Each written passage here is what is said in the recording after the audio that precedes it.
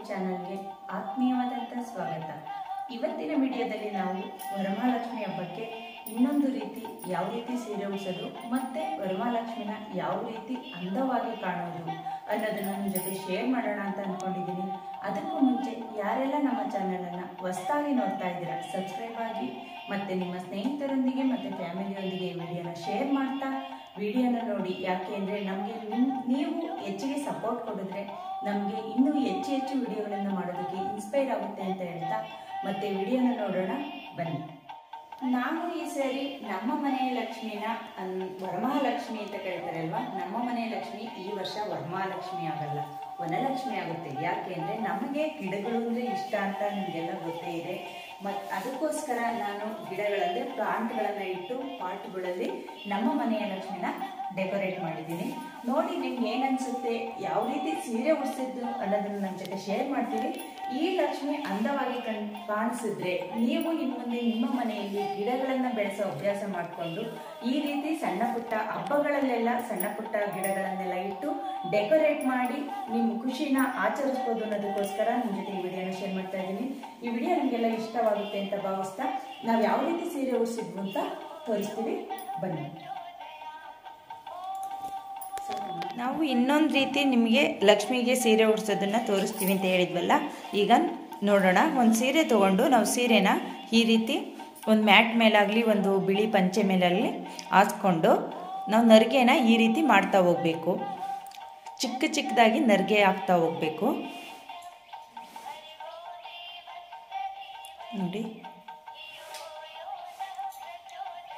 ಈ ರೀತಿ ನಾವು ಚಿಕ್ಕದಾಗಿ ಎಲ್ಲ ನರಿಗೆಗಳನ್ನ ರೆಡಿ ಮಾಡ್ಕೊಬೇಕು.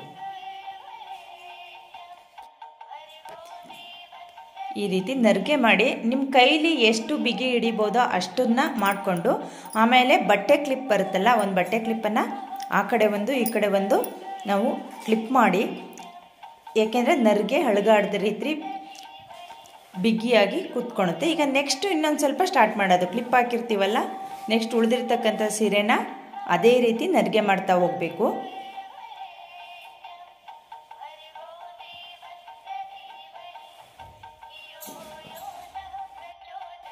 ಈಗ ನೋಡಿ, ನಾವು ಸೆರಗು ಎಷ್ಟು, ನಾವಂದರೆ ಹೆಣ್ಮಕ್ಳು ಸೀರೆ ಉಡೋದಕ್ಕೆ ಸೆರಗು ಎಷ್ಟು ಬೇಕೋ ಅಷ್ಟನ್ನು ಸೆರಗು ರೀತಿ ಬಿಟ್ಕೊಂಡು ಇನ್ನು ಮಿಕ್ಕಿದ್ದನ್ನೆಲ್ಲ ನರಿಗೆ ಹಾಕ್ಕೊಬೇಕು.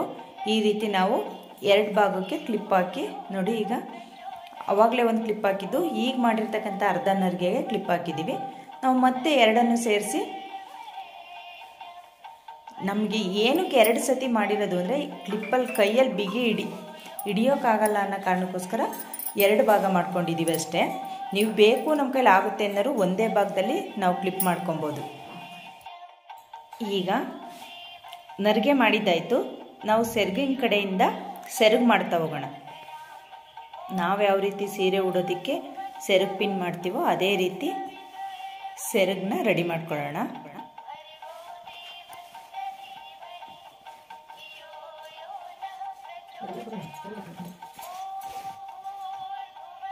ಈ ರೀತಿಯಾಗಿ ಸೆರಗು, ನದಿಗೆ ಮತ್ತು ನಾವು ಇಡ್ತಕ್ಕಂಥ ಗುಂಡಿ ಮತ್ತು ಬಿಂದಿಗೆನ ರೆಡಿ ಮಾಡಿಟ್ಟಿದ್ದೀವಿ.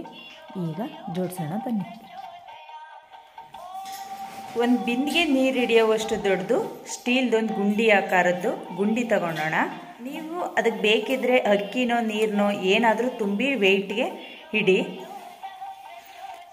ಅದ್ರ ಮೇಲ್ಗಡೆ ನಾವು ಲಕ್ಷ್ಮಿ ಕಳಸ ಉಡ್ತಕ್ಕಂಥ ಒಂದು ಬಿಂದಿಗೆ ಇಡೋಣ.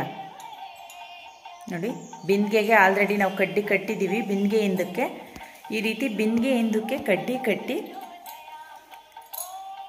ಒಂದು ತಟ್ಟೆಗೆ ಅಕ್ಕಿನೂ ಹಾಕಿಟ್ಟಿದ್ದೀವಿ. ಮೇಲ್ಗಡೆ ಒಂದು ಗುಂಡಿ ಅದ್ರ ಮೇಲ್ಗಡೆ ಒಂದು ಸಣ್ಣ ಬಿಂದಿಗೆ. ನೋಡ್ತಾ ಇದ್ದೀರಲ್ವಾ? ಈ ರೀತಿ ನಾವು ಪಿನ್ ಮಾಡಿ, ಬಟ್ಟೆ ಪಿನ್ ಮಾಡಿ, ನರಿಗೆ ಮಾಡಿ ಇಟ್ಕೊಂಡಿದ್ವಲ್ಲ, ಈಗ ಡಬಲ್ ಸ್ಟೆಪ್ಗೆ ನಾವು ಲಗ್, ಯಾವ ಅಳತೆಗೆ ಬೇಕೋ ಆ ಅಳತೆಗೆ ದಾರ ಕಟ್ಕೊಂಡು ನಾವು ಸೀರೆನ ಕುಂಡ್ರಿಸೋಣ.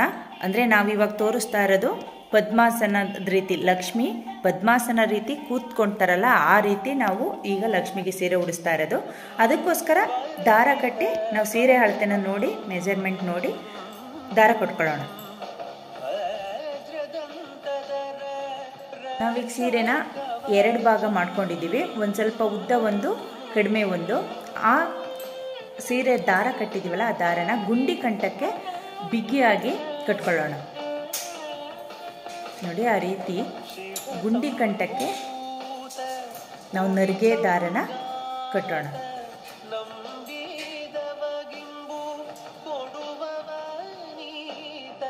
ಈಗ ಬಿಂದಿಗೆ ಅಂದರೆ ಗುಂಡಿ ಕಂಠಕ್ಕೆ ನಾವು ದಾರದಲ್ಲಿ ಸೀರೆನ ಕಟ್ಟಿದ್ದಾಗಿದೆ. ಈಗ ಸೆರಗನ್ನು ನಾವು ಯಾವ ರೀತಿ ಕ ಹಿಂದೆ ಹಸಿ ತಗೊತೀವೋ ಅದೇ ರೀತಿ ಗುಂಡಿ ಹಿಂದೆ ಹಸಿ ನಾವು ಸೆರಗನ್ನು ಲಕ್ಷ್ಮಿಯ ಮುಂಭಾಗಕ್ಕೆ ಬಿಟ್ಕೊಳ್ಳೋಣ. ನೋಡಿ ಆ ರೀತಿ ಮುಂದಕ್ಕೆ ತಕ್ಕೊಂಡು ನೋಡಿ. ಆ ರೀತಿ ನಾವು ಸೆರಗ ಹಾಕ್ಕೊಳ್ಳೋ ರೀತಿಯೇ ಲಕ್ಷ್ಮಿಗೆ ಸೆರಗನ್ನ ಹಾಕ್ಕೊಳ್ಳೋಣ. ಅಷ್ಟಿರಲಿ ಇವಾಗ ನಾವು ಮುಂದಕ್ಕೆ ನರಿಗೆ ರಡ್ ಮಾಡಿಕೊಂಡು ಆಮೇಲೆ ಸೆರಗನ್ನ ಕುಂಡ್ರಿಸೋ ವ್ಯವಸ್ಥೆ ಮಾಡೋಣ. ಫಸ್ಟ್ ಈಗ ನರಿಗೆ ಬಿಚ್ಚಿ ನರಿಗೆನ ಕುಂಡ್ರಿಸೋಣ.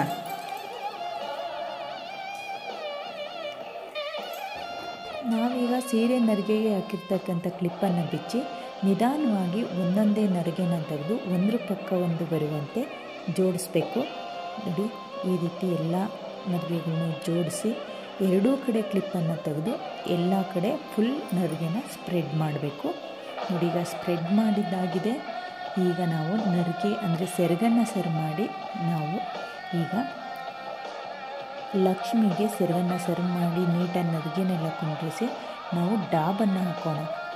ಲಕ್ಷ್ಮಿಗೆ ಡಾಬನ್ನು ಹಾಕಿದ್ರೆ ಲಕ್ಷ್ಮಿ ಅಂದವಾಗೂ ಕಾಣುತ್ತೆ. ನರಿಗೆ ಮತ್ತು ಸೆರಗುಗಳು ಅಳುಗಾಡದ ರೀತಿ ಕೂರುತ್ತೆ. ನೋಡಿ. ಬ್ಲೌಸ್ ಪೀಸನ್ನು ಯಾವ ರೀತಿ ಹಾಕೋದು ಅಂತ ನೋಡೋಣ. ನೋಡಿ ಅದರದ್ದೇ ಮ್ಯಾಚಿಂಗ್ ವಿತ್ ಬ್ಲೌಸಿನ ಬ್ಲೌಸ್ ಪೀಸ್ ಇರುತ್ತಲ್ಲ, ಅದನ್ನು ಆ ಹಿಂದಗಡೆ ಕಡ್ಡಿ ಇರುತ್ತಲ್ಲ, ಅದು ಮುಚ್ಚಿದಂಗೂ ಆಗುತ್ತೆ. ನಾವು ಬಳೆ ಹಾಕೋದಕ್ಕೆ ನಮಗೆ ಒಂದು ಜಾಗನೂ ಸಿಕ್ತಂಗೆ ಆಗುತ್ತೆ. ಅದರಿಂದ ಆ ರೀತಿ ಆ ಕಡ್ಡಿಗೆ ಬ್ಲೌಸ್ ಪೀಸ್ಗೂ ಸೇರಿಸಿ ಪಿನ್ ಹಾಕೋಣ, ಒಂದು ಸೇಫ್ಟಿ ಪಿನ್ನನ್ನು ಆ ರೀತಿ ಹಾಕೋಣ. ಎರಡು ಸೈಡು ಪಿನ್ನ ಹಾಕಿ ನಾವು ರೆಡಿ ಮಾಡ್ಕೊಬೇಕು. ಇನ್ನೊಂದು ಬ್ಲೌಸ್ ಪೀಸನ್ನ, ಅಂದರೆ ಮಡಿದು ಇನ್ನೊಂದು ಎಕ್ಸ್ಟ್ರಾ ಬ್ಲೌಸ್ ಪೀಸ್ ಇರುತ್ತಲ್ಲ, ಅದನ್ನು ನಾವು ಕೈಯಿಂದ ಹಿಂದಕ್ಕೆ, ಈ ಬ್ಲೌಸಿಂದ ಹಿಂದಕ್ಕೆ ಕೈ ಆಕಾರದಲ್ಲಿ ನಿಲ್ಲಿಸೋಣ ಇಡೋಣ. ಅಂದರೆ ನಮಗೆ ಬಳೆ ಹಾಕೋದಕ್ಕಾಗಲಿ, ಅಲಂಕಾರ ಮಾಡೋದಕ್ಕಾಗಲಿ ಚೆನ್ನಾಗಿ ಕಾಣುತ್ತೆ ಅನ್ನೋ ಕಾರಣಕ್ಕೆ ಆ ರೀತಿಯಾಗಿ ಇಡ್ತಾ ಇದ್ದೀವಿ ಈಗ ನಾವು ಕೈಗೆ ಬಳೆಗಳನ್ನ ಹಾಕೋದು ಹೇಗೆ ಅಂತ ತೋರಿಸ್ತಾ ಇದ್ದೀವಿ. ಈ ರೀತಿಯಾಗಿ ಬಳೆಗಳನ್ನ ಲಕ್ಷ್ಮಿ ಅಲಂಕಾರ ಪ್ರಿಯೆ. ನಾವು ಎಷ್ಟೇ ಅಲಂಕಾರ ಮಾಡಿದ್ರೂ ಲಕ್ಷ್ಮಿಗೆ ಸಾಕಾಗೋದಿಲ್ಲ. ಅದರಿಂದ ನಮ್ಮ ನಮ್ಮ ಕ್ರಿಯೇಟಿವಿಟಿಗೆ ತಕ್ಕಂಗೆ ಲಕ್ಷ್ಮಿನ ಅಲಂಕಾರ ಮಾಡ್ಬೋದು. ನಿಮ್ಮಿಷ್ಟದ ಹಾಗೆ ಇನ್ನು ಮುಂದೆ ಸೀರೆ ಉಡಿಸೋದು ರೀತಿ ನೋಡಿದ ಮೇಲೆ ಇನ್ನು ಮುಂದೆ ನಿಮ್ಗೆ ಇಷ್ಟ ಬಂದಿದ್ದ ರೀತಿ ನಿಮ್ಮ ಮನೆಯ ಲಕ್ಷಣ ಅಂದವಾಗಿ ಅಲಂಕಾರ ಮಾಡಿ. ಇಲ್ಲಿಂದ ಮುಂದಕ್ಕೆ ನಾವು ಲಕ್ಷ್ಮಿಗೆ ಅಲಂಕಾರನ ಮಾಡ್ತಾ ಹೋಗೋಣ. ನೋಡಿ, ಇವಾಗ ಸೀರೆ ಉಡಿಸಿದ್ದಾಯಿತು, ಬಳೆ ಹಾಕಿದ್ದಾಯಿತು, ಸೊಂಟಕ್ಕೆ ಡಾಬು ಸಹಿತ ಕಟ್ಟಿದ್ದಾಯಿತು.